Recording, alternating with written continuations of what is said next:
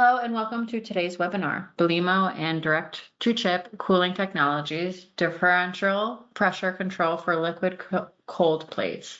Our presenter today is David Kandel. We appreciate you joining us. My name is Audra Shiner and I'll be your moderator. As a friendly reminder, these webinars are recorded and will be posted to BELIMO's YouTube page, as well as our website. If you are experiencing any technical issues, please open the chat box on the bottom right corner and let me know so I can assist you. But without further ado, I would like to introduce to you David Kandel. Thanks, Audra. Always appreciate your nice introductions and welcome everybody to our webinar today on differential pressure control for liquid cold plate.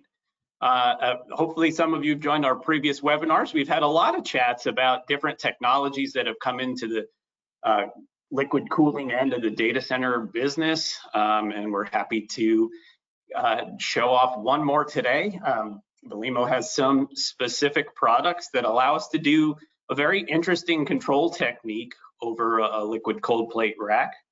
And let's just get started here. So if you joined us along the way on our presentations, you know we're always talking about heat density how are the heat densities changing, what all these crazy chip manufacturers are doing to the rest of us that we have to respond to. So a few years ago, chip densities weren't all that hot. We could cool everything just fine by traditional air-cooled methods, but obviously some things have changed. I like to always harken back to the Uptime Institute's data where they showed us what happened during the 2010s. So here is uh, an average uh, heat density per rack in, measured in kilowatts. So in 2011, they were reporting, and, and, this is survey data, so it's you know it's it's not totally holistic, but their survey respondents told them you know somewhere in two and a half kW per rack, and then by the end of the 2010s, we were at 8.4 kW per rack, which seems like tremendous growth you know, that's three and a half times as much heat density over a 10 year period. That's quite a big growth. But as we're all aware, the last five years, uh, things have gone absolutely bonkers in this space and created a lot of challenges uh, that we need to be addressing uh, inside of our data centers. So what was the big turning point? The, obviously uh, NVIDIA is leading the way as a disruptor in this space with their computing power. The GB200 uh, produces over 120 kW per rack, and there's some versions of this that produce over 130 kW per rack. Keep in mind that the NVL72 means there's 72 individual chips inside of that rack each of them putting off a tremendous amount of heat and we're generating more heat than we've ever seen before. If you've watched any one of our presentations before, you know this is what pushed us towards liquid cooling. Our source here is Vertiv on this one. This is a chart that they produced that shows off roughly the types of kW density you can cool with different technologies. So if we start way at the left in the 20, uh, 2010 era, you know, where we were between two and a half and 10 kW, well, then that perimeter CRAC or AHU type cooling worked, the raised floor containment.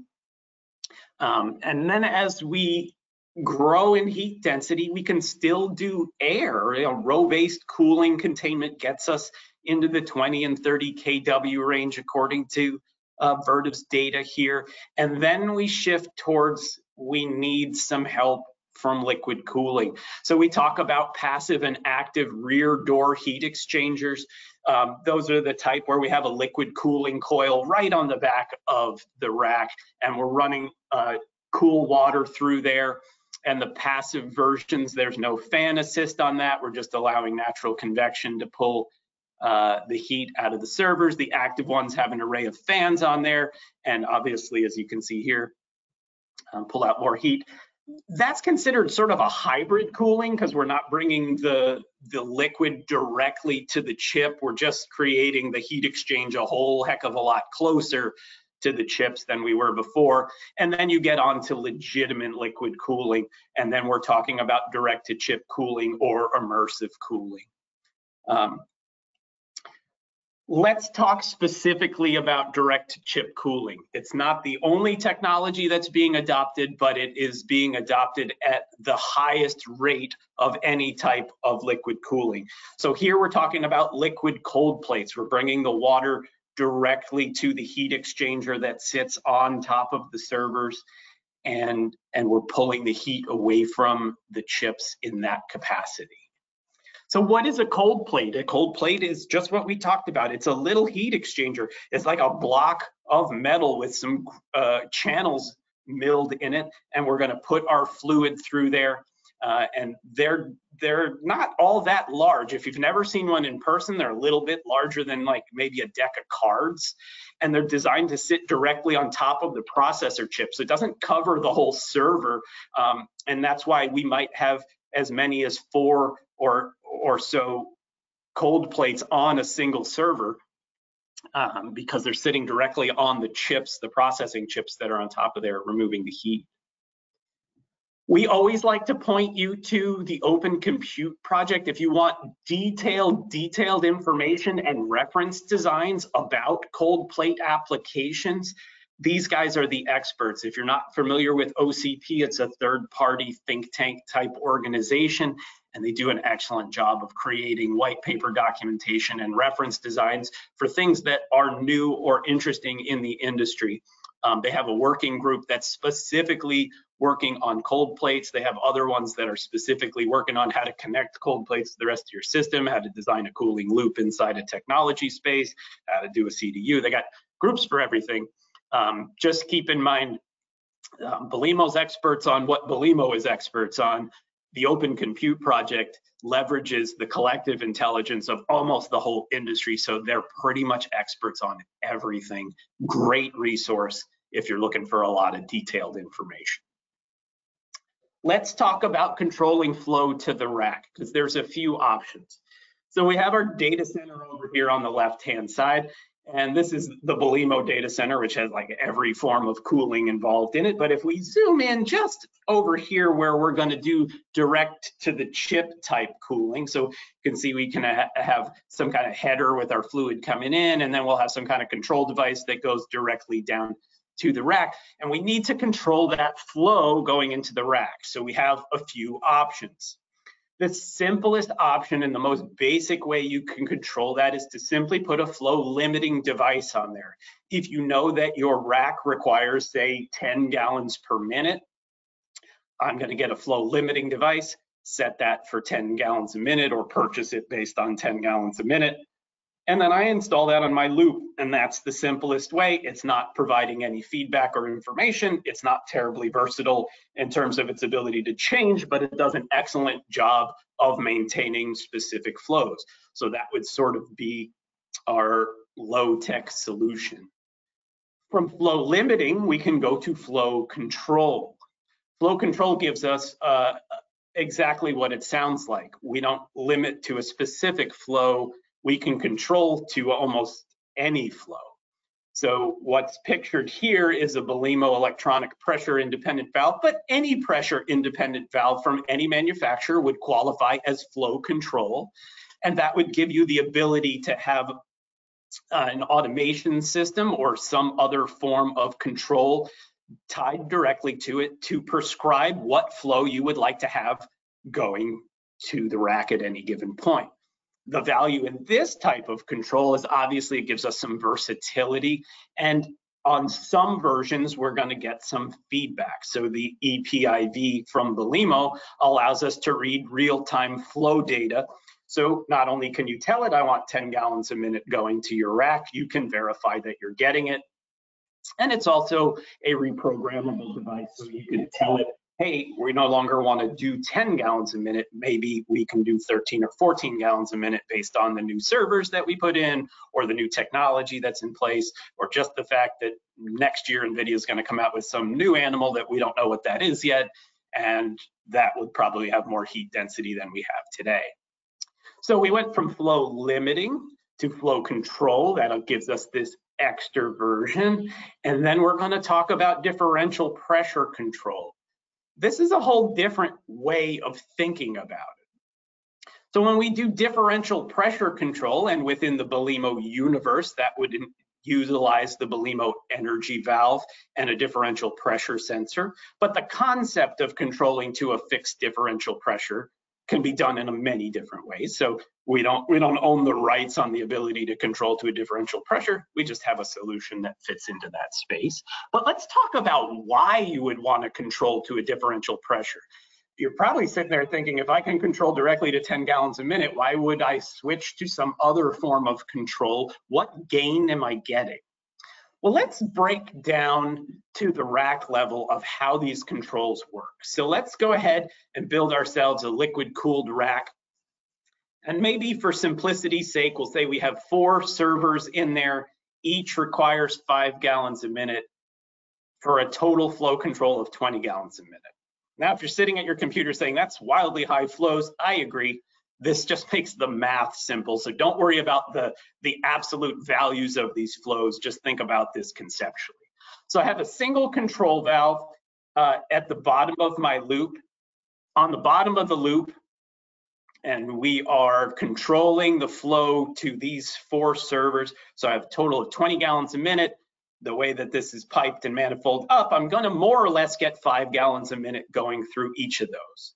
Now I'm fixing my flow at 20 gallons a minute. So we have the little lock um, showing up,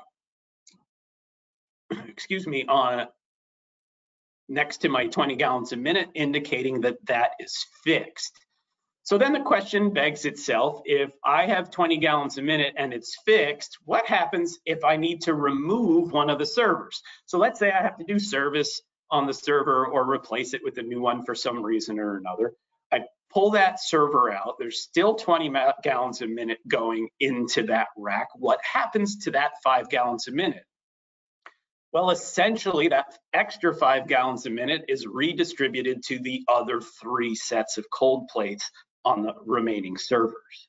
This is not what we would want to happen because now we have an overflow on those three circuits, even though the valve is still flowing the right amount, we're overflowing uh, the remaining circuits. What's the jeopardy of that? Well, we want to make sure we don't overflow uh, our cold plates in the long term. There can be some issues uh, surrounding erosion or breakdown of the cold plate materials.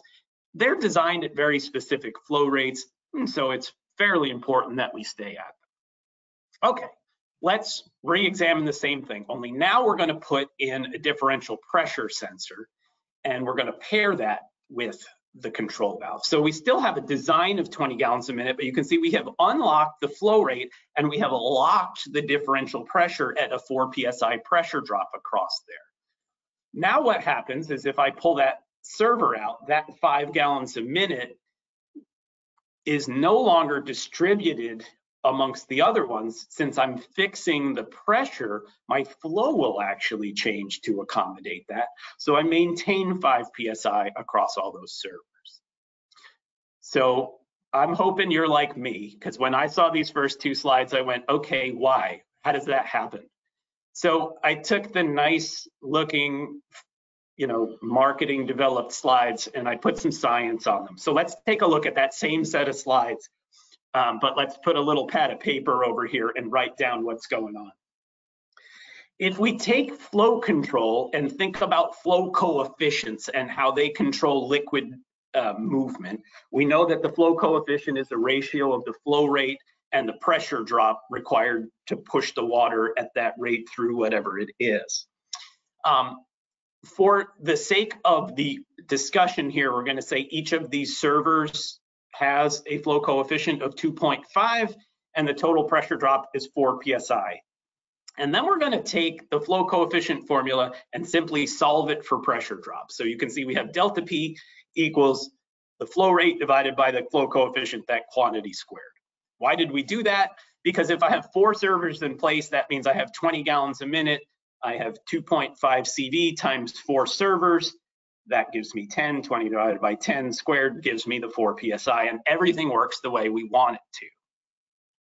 The problem becomes when I remove that server, we redo the math here, we redistribute all of those things and now the pressure drop tells me that i'm getting almost seven over seven psi going across each one of these servers where they're designed in this case for five psi so we've overpressurized the servers causing an overflow I think this part wasn't confusing to everybody. Let's now put the differential pressure control into place and talk about how that worked and we'll accompany it again with a little bit of math. So we take the flow coefficient formula, the same parameters of flow coefficient. This time we're gonna solve for GPM because that's what we're most interested now. So GPM equals the flow coefficient times the square root of the pressure drop. With four servers in place and two and a half CV per server, the math still works. It's two and a half times four times the square root of two, and we have 20 gallons a minute forwards and backwards, the math still works. But here's why we get the right flows we want when we hold on to that 4 PSI.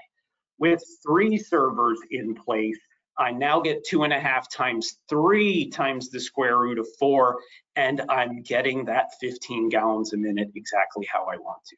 So I either just had a light bulb go off in your head or bored you to death with math you already understood. Either way, I appreciate you sitting through this with me.